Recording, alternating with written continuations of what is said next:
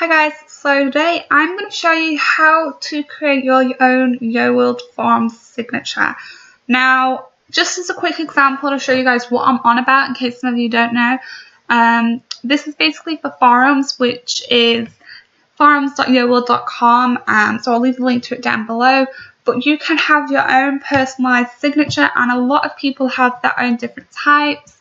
Um, and this one is mine. A lot of people use like banner photos um, and they can be of anything. They can just be your YoWorld name, they can just be a picture of your avatar, or they can get some creative ones in there as well. You could put like different outfits, like five days a week outfits on there. Some people have some amazing signatures and of course some people have them so you can click them I have mine so you can click it and this will take you to my YouTube channel and then I have visit me here, which is my apartment link.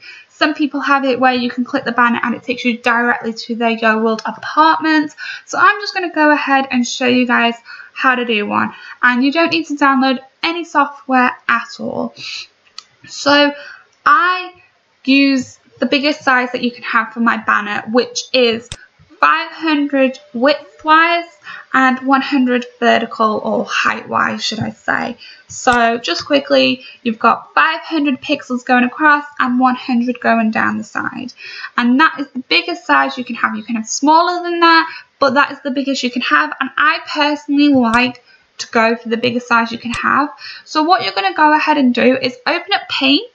You're going to, you know, make your picture um, the white bit of the picture really big. Um, so drag it out to sort of this size. You're going to go ahead and click the resize.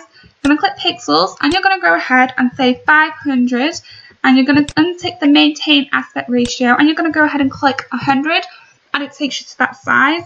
Now all you're going to want to do is save this, make sure it's white or you know it doesn't really matter about the colour and I'm going to go ahead and save this in my um, folder that I'm going to be doing it.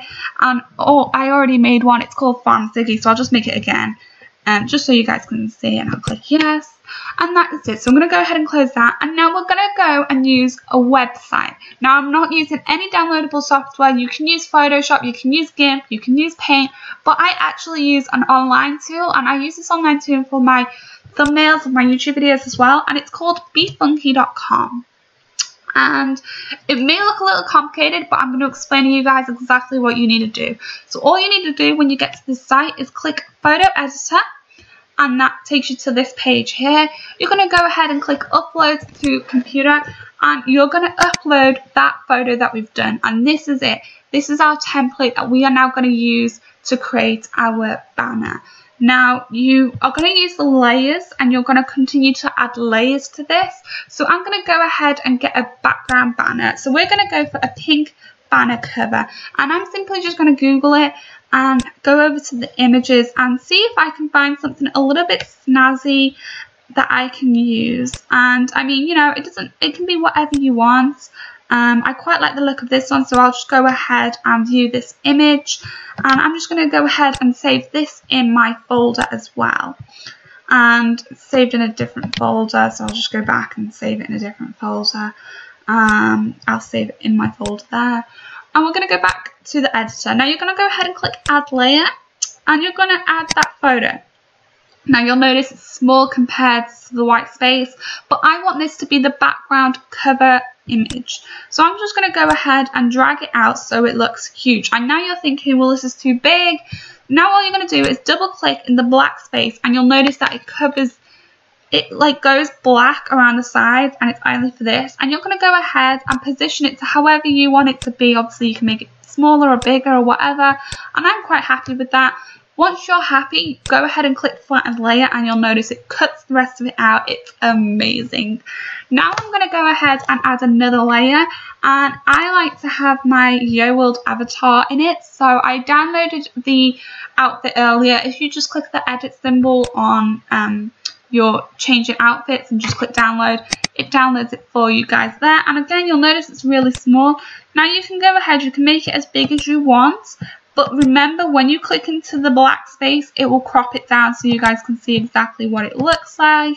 So I'm going to go ahead and I'm just going to make this a little bit different.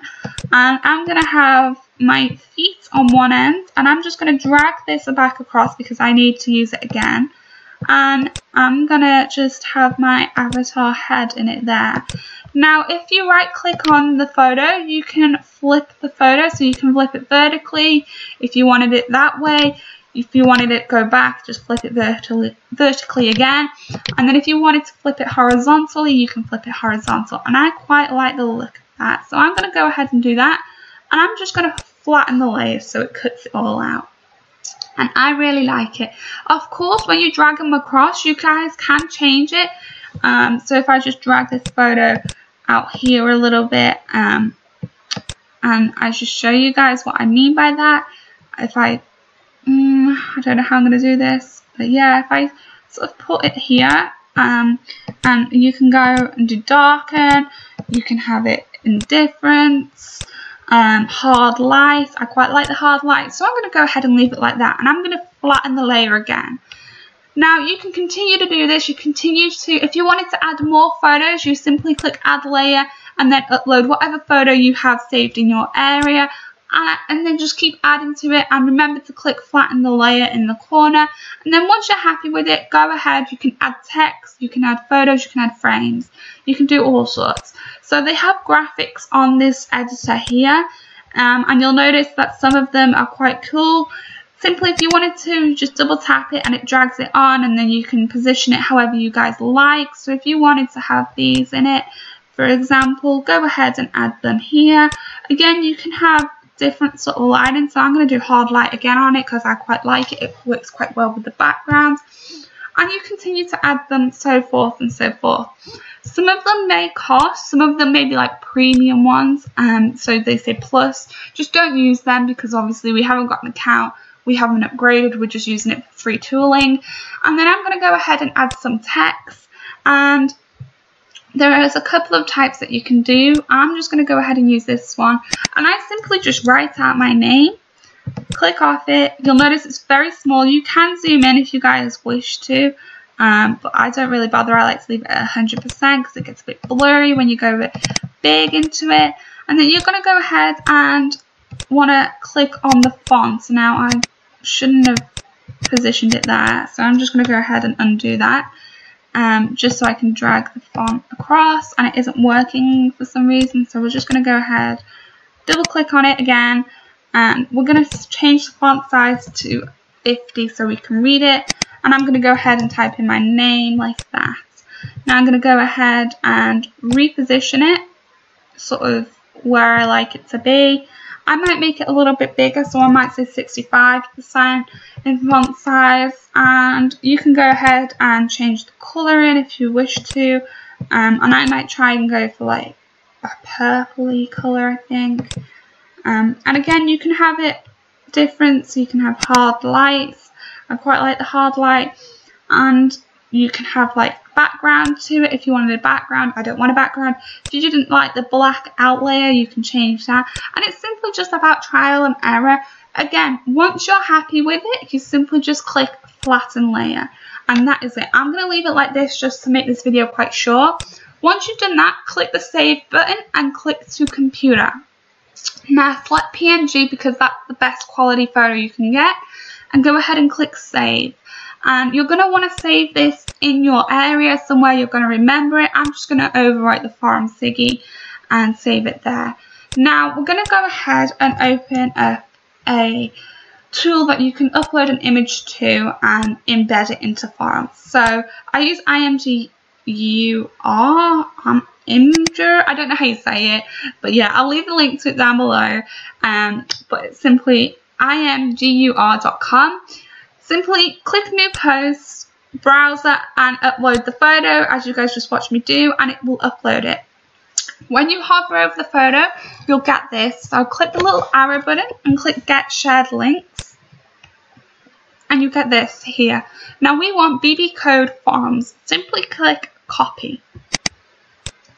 Okay, and then go back to forums and go to user control panel and then you want to go to profile and then you want to select the edit signature tab now you guys will notice that I have quite a lot in here anyway but if I just go ahead and I paste it there and I take this out just for you guys to see. Um, and we preview, you get the photo.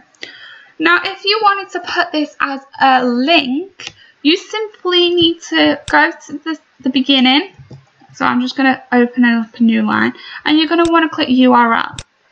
Now, you're going to want to go ahead and drag this here.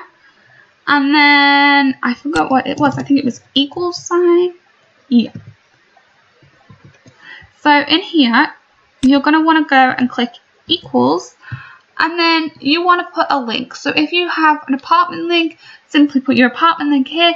If you wanted it to go to, I don't know, um, twitter.com, you simply do https forward slash www.twitter.com and that is it. And then I'm going to go ahead and put this on the same line. And then if I preview this again, you'll notice when I hover over, it's clickable. If I right click and open this in a new tab, it should take us to Twitter. Um, and that is pretty much it for this video. And then of course, once you're happy, I keep clicking preview. Simply click submit once you're happy and it will save all the changes. That is it. I hope this video helps you guys understand how to make some cool, funky signatures. I really love playing around with it. I like to change my signature up pretty much every sort of every other week. Um, and the tool BeFunky is amazing. It's free to use. Just simply, you don't even have to create an account and I absolutely love it. I use it for my thumbnails as well. So I hope this video sort of helped you guys out a bit. Give it a big thumbs up if you did find it useful. Drop a comment down below with like a thread to one of your posts and forums so I can check out your signatures. And I will see you guys next time. Don't forget to subscribe and give it a thumbs up. Bye guys.